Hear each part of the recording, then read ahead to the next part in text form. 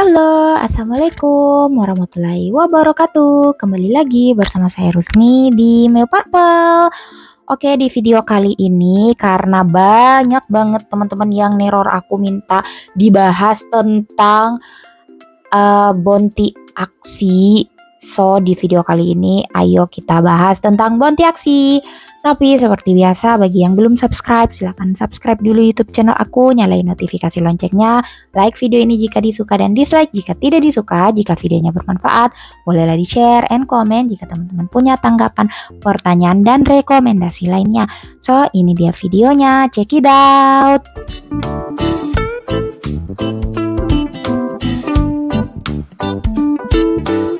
Jadi Bonti aksi ini itu hanya bisa diklaim setiap hari Rabu. Tapi untuk bisa ngeklaimnya itu teman-teman harus pastinya ya main game aksi. Nah, salah satunya yaitu teman-teman harus menang di uh, satu kali di klasik dan juga satu kali di origin setiap harinya. Gitu aja sih syaratnya. Nah, di sini teman-teman tinggal masuk aja ke website aksi, lalu klik yang ini, ada ketulis tuh bounty daily bounty board.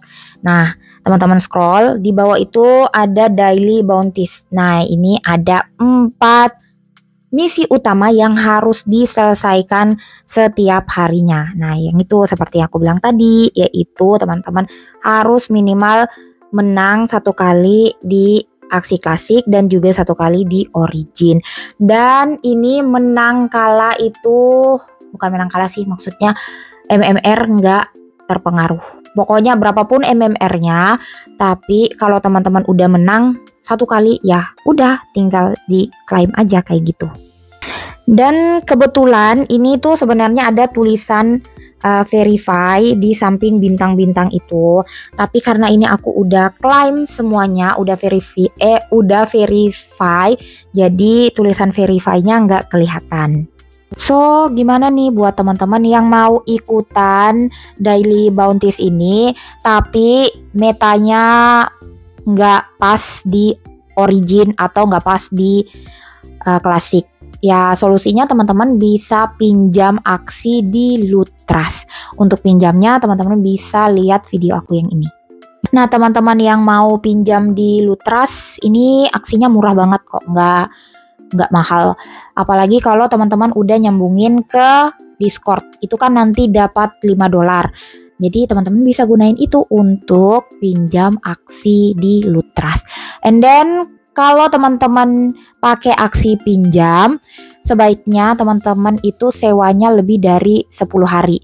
Karena untuk bisa mengklaim nanti itu syaratnya, salah satu syaratnya adalah aksi yang digunakan harus ada di dalam walletnya teman-teman. Kayak gitu. Kalau nggak ada, nanti teman-teman akan didiskualifikasi. Jadi nggak dapat uh, apa namanya hadiahnya. Dan sedangkan untuk daily bounties yang activize active Atia itu teman-teman tinggal klik aja nih bagian atas lalu nanti akan muncul uh, warna kuning. Ini ya kembali lagi ini udah aku klik jadi nggak kelihatan. Jadi tinggal diklik itu aja lalu nanti dimintai konfirmasi di Ronin Wallet. Dan udah deh teman-teman konfirmasi Selesai, habis itu langsung kembali lagi ke tampilan yang tadi dan klik verify kayak gitu. Oke, okay, untuk daily bounties yang open a pouch itu hanya bisa teman-teman buka kecuali teman-teman punya aksi collectible seperti Japanese, Origin, uh, Christmas dan lain-lain kayak gitu. Kalau nggak punya gimana? Ya nggak bisa dibuka selesai deh gitu.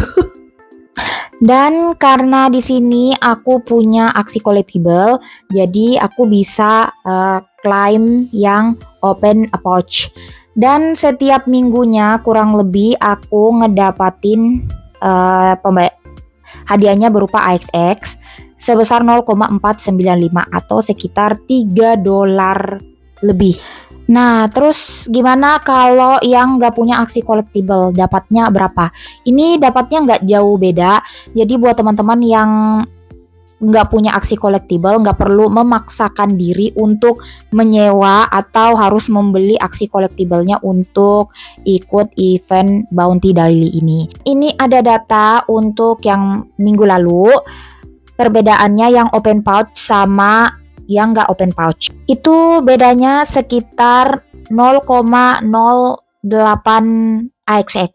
Ini setiap teman-teman aktif 5 Atia dan juga kalau punya aksi collectible open pouch itu selama tujuh hari kalau mau open itu pasti buka atau ininya pakai gas So setelah dihitung-hitung selama satu minggu total gas untuk ngebuka dua bounties daily ini itu sekitar 3 ribuan.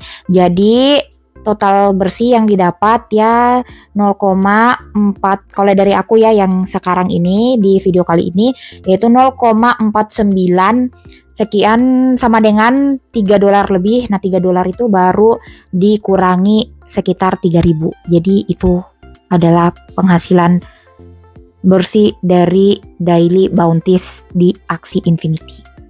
Jadi setiap minggunya kalau semakin banyak pemain maka semakin sedikit reward AXX yang didapat.